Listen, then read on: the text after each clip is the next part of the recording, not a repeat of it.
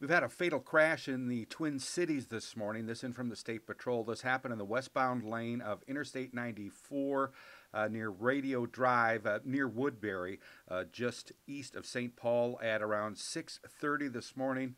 Uh, traffic will be down to one lane. The patrol is reporting until around uh, 9 9:30 a.m. Again, a report of a fatal accident. Uh, no details yet. Uh, we'll have those later today. I'm Neil Carlson reporting for iNewZ.TV.